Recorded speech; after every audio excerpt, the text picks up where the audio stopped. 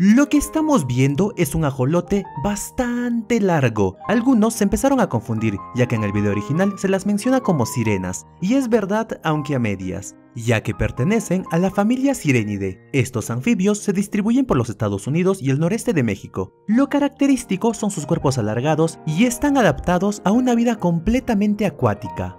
Fin.